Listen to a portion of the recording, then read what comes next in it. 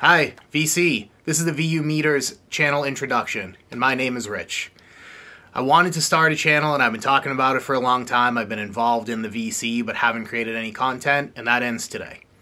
I kept putting it off, putting it off, putting it off, and I told myself that the last day of 2023, today, I was going to upload a video, and my procrastination with this would end. So a little bit about my history with vinyl. I was born and raised in the time of like CDs and MP3s, so vinyl really wasn't a thing for me when I was younger growing up. It became a thing in the early 2000s. You always heard that vinyl sounded better and kind of more natural, a warmer sound, so I started picking up some records. And my collection grew pretty quickly, but pretty unfortunately when my uncle had passed away.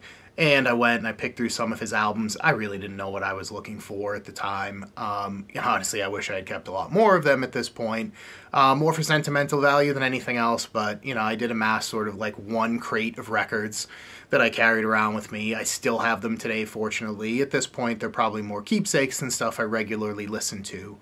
Uh, but after that point, I started getting into like high res audio and streaming and digital. I was traveling a lot for work at the time.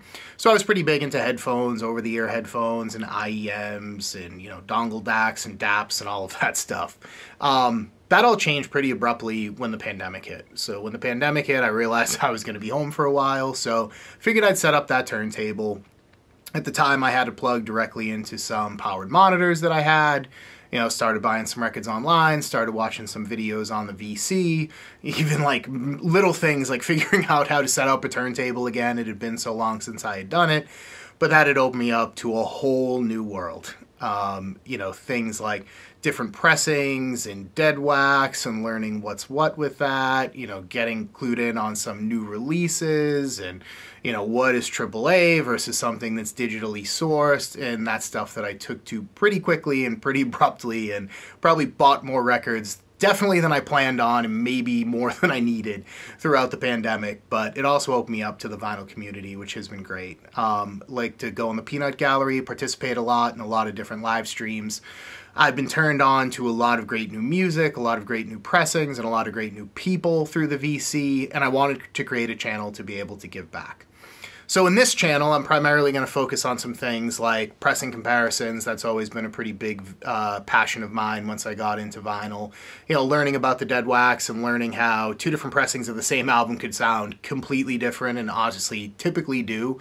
Um, a lot of albums that I like, I will source out a lot of different copies, so I'd like to be able to share my opinions on those. The hope there is I can help people find some cool new pressings of records they like and also kind of save them the time, energy, effort, and struggle of going through buying all of these, sourcing all of them, cleaning them, listening to them to ultimately just be disappointed. So figure that would be one great way I could give back, as well as just going through some new finds that I have. It doesn't have to be brand new records, could be records that are just new to me, uh, could be some new pressings of records that I've liked in the past that I may have stumbled upon a pressing that I think other people would enjoy.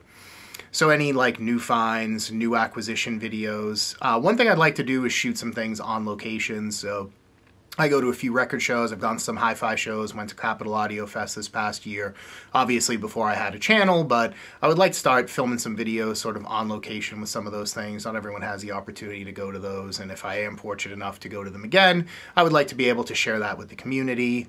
And another thing would be my own equipment. So as I mentioned, I started on a turntable hooked up directly into powered monitors. My system is vastly different since then over the past few years, so I'd like to do a room tour. I always really enjoy those and also kind of walk you through some of my equipment, how I acquired it, when I acquired it, why I acquired it, um, what I feel really works well together.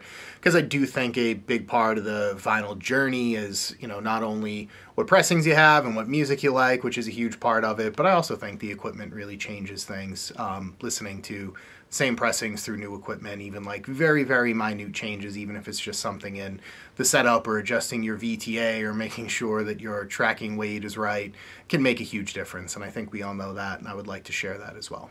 So, welcome to the channel. Stay tuned for more comment. Excited to finally put up some content and officially be part of a content creator in the VC. Happy New Year, everyone. Thanks.